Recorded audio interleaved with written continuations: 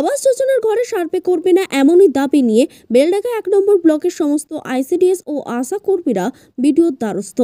আশাকর্মী ও ICDS কর্মীদের দাবি, এর আগে যে সার্ভে হয়েছিল, সেখানে অনেক দুর্নীতি হয়েছে। নতুন করে সেই সার্ভে তাদেরকে করার নির্দেশ দেওয়া হচ্ছে। যেখানে করতে গেলে তাদের প্রাণনাশের হুমকি পেতে হচ্ছে। তাই তারা এই সার্ভে করবে না।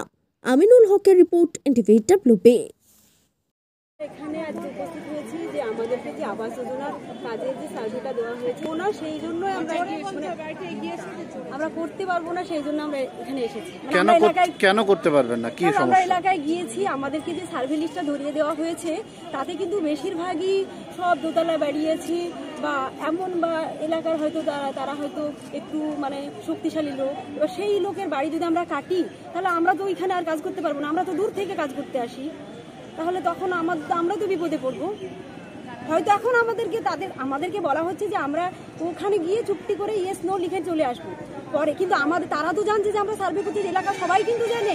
সবাই জেনে গেছে ওরা যে তার মানে আপনারা একটু মানসিক ভাবে আমরা ভীত ভীত সন্ত্রস্ত। সন্ত্রস্ত আমরা। এ বিষয়ে কাকে জান- জানিয়েছেন কাউকে? আমরা এই তো ভিডিও ভিডিওকে জানানো হলো এখন। হ্যাঁ, ভিডিওকে ডেপুটেশন দিয়েছেন। ডেপুটেশন অঞ্চলাইজ গিয়েছিলেন তো গিয়েছিল তো ওরা বলল যে এই যে আপনাদেরকে করতেই হয় কিন্তু আমরা করব না। তাহলে এখন বিকল্প কি? দরখাস্ত লিখে আমরা জমা দেবো এখন আপনার পরিচয়? আমি হচ্ছে মির্জাপুর টু এর একজন অঙ্গনওয়াড়ি ওয়ার্কার। আমি হচ্ছে আমার নাম হচ্ছে লুৎফুল আমরা এখানে উপস্থিত হয়েছি তার একটাই কারণ যে গত দুদিন আগে আমাদের একটা হঠাৎ মেসেজ আসে সিডিও সিডিপিও ম্যাডামের কাছ থেকে যে আমরা শুনতে পাই, বলল আমাদেরকে একটা আবাস যোজনা সার্ভে হবে। কিন্তু আমরা খুব খুশি এলাম যে যদি আবাস যোজনা সার্ভে হয়, তো যেসব গ্রামের অত্যন্ত গরিব এলাকায় যাদের বাড়িঘর নাই, তাদেরকে আমরা সার্ভে করি, তার আওতায় আনতে পারব। কিন্তু যে লিস্টটা পরে ধরি দেওয়া হলো হাতে আমাদেরকে, তখন আমরা খুব দুঃখিত। দুঃখের সঙ্গে জানাচ্ছি যে সেই সার্ভে আমরা করতে পারব না। কেন? আজ থেকে মানে দু হাজার আঠেরো সালে একটা সার্ভে হয়েছিল, তখন কিছু কিছু মানুষের টালির বাড়ি ছিল। সেই হিসাবে তারা সেই টালির বাড়ি মার্কিং করে সেটা ওই যোজনার মধ্যে ফেলেছিল। কিন্তু আবার কিছু কিছু বাড়ি আছে যেখানে দুতলা বাড়ি, এবার সেগুলো আছে। কিছু গরিব তাদেরও আছে। কিন্তু আমরা সেই এলাকায় সার্ভে করতে এখন যদি যাই, দেখি এবার আমাদেরকে এখানে বলা হয়েছে, বিডিও সাহেব বললেন যে যাদের পাকা বাড়ি, যাদের বাড়িতে চার চাকা আছে যাদের হয়তো পাঁচ বিঘার উপরে সম্পত্তি আছে, তাদের সেই সব বাড়িগুলো তোমরা মার্কিং করবে এবং পাকা বাড়ি সে লিখবে। কিন্তু সেই পাকা বাড়িটা লিখতে গিয়ে আমরা দেখছি যে আমাদের বন্যা মানে বন্যার এলাকা বেশিরভাগই। এবার সে জায়গায় আমাদের হয়তো বছর বছর বন্যায় বাঁধ ভেঙে যায়, বাঁধের গায়ে কিছু কিছু লোক বাস করে, তারা খুব কষ্ট করে বিহার খেটে খুব ছেলে মেয়ে, ছেলে মেয়েদের, ছেলে মেয়েরা বড় হয়েছে, তাদের হয়তো একটু রোজগার করে সেই বন্যার এলাকা ঠেকানোর জন্য তারা কিছু একটা ছাদ পেরে বাড়ি করেছে, পাকা বাড়ি, কিন্তু সেটা আমরা কাটতে পারব না। কেন? সেটা তারা বহু কষ্ট করে করেছে। তো সেই জায়গায় আমরা কাটতে পারছি না, আমাদেরকে কাটতে বলছে, কিন্তু সেখানে কাজ করছি আমরা বিশাল সমস্যায়। তারা আমাদেরকে হুমকি দিচ্ছে যে তোমরা কোনো কাটবে না।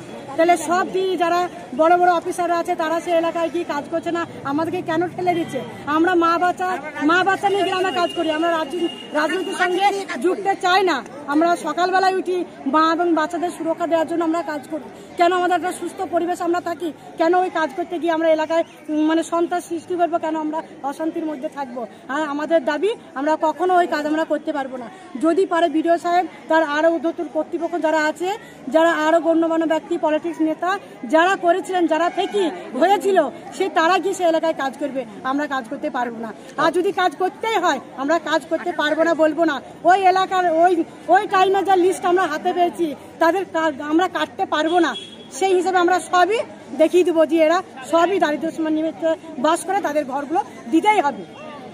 আপ- আপনার নাম? আমার নাম বিরোরা বিবি আমার বাড়ি মজ্জমপুর আমি আইসিএস কর্মী। আবাস যোজনার কাজটা আমাদের হাতে ধরিয়ে দেওয়া হয়েছে, সে কাজ করতে আমরা রাজি নয়। এটা হয়েছিল আঠেরো সালে সার্ভে হয়েছে। সে সার্ভে অনুযায়ী তারা সকলে যারা বাড়ি মানে ঘর পেয়েছে, তারা জেনে গেছে কারা কারা ঘর আছে। নেতারাও জানে, সবাই জানে। অলরেডি তারা সব কিছু মানে টাকা খেয়েও বসে আছে, কে পাবে কে পাবে না। এমতো অবস্থায় শেষে আমাদেরকে এই কাজটাই ফেলে দেওয়া হয়েছে যে আমরা এই কাজটা মানে নতুন করে ইনকোয়ারি করে বের করি। কিন্তু এই ভাবে আমরা ইনকোয়ারি করে বের করতে পারব না। আমরা ফিল্ডে কাজ করি, আমাদের সমস্যা আছে।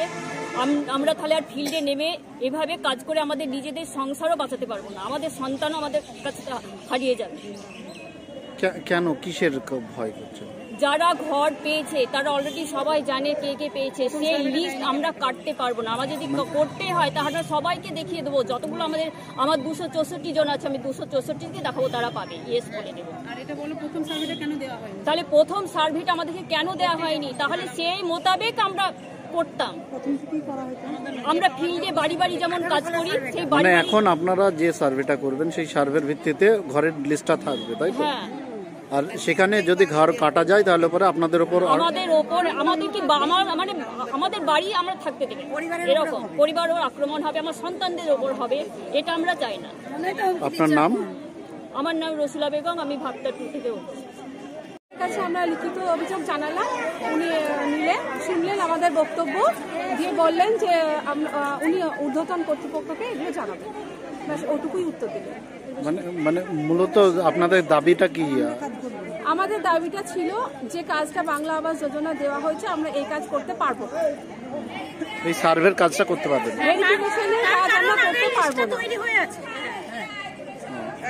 যে সেটা বিষয়ে লিখিত অভিযোগ করলেন। হ্যাঁ সেই বিষয় নিয়ে আমরা গেছিলাম যে আমরা এই কাজটা করতে পারব না। কোনোভাবেই করতে পারব না। আপনার নাম?